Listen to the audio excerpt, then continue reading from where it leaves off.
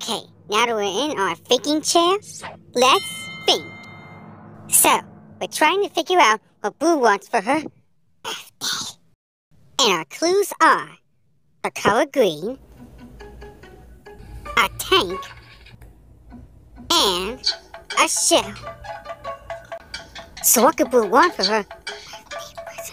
As the color green could be in a tank and with a shell. Hmm. Well, what could Blue want that has the color green, has a shell, and it could be in a tank?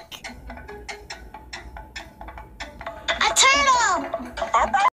A turtle! Yes, because those are green, they have shells, and can easily be on tanks!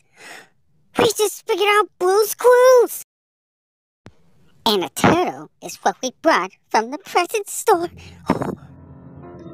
We sat on down, figuring out what Blue's clues were all about. Wow, you know what? We're really smart. Okay, Blue. I think it's time we give you your birthday present.